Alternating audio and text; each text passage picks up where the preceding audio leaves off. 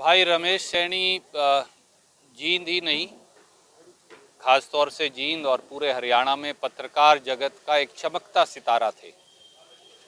एक ऐसे साथी कलम के सिपाही थे, जिन्होंने ना कभी सत्ता के आगे सर झुकाया, ना कभी हुक्मरानों से डरे।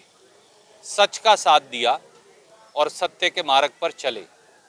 व्यक्तिगत तौर से पीढ़ी दर पीढ़ी का मेरा स्नेह, एक भाई वाला एक साथी वाला रमेश जी से, पूरे परिवार से लगातार चला आया।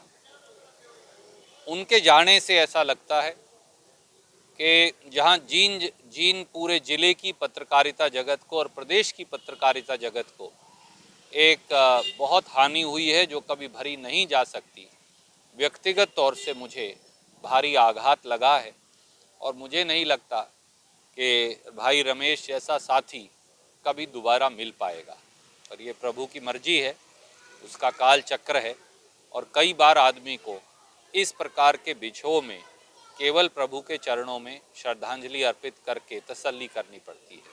ताज़ा अपडेट्स व बड़ी खबरों के लिए सब्सक्राइब करें आज प्रकाश टीवी और बेल आइकन दबाना न भूलें।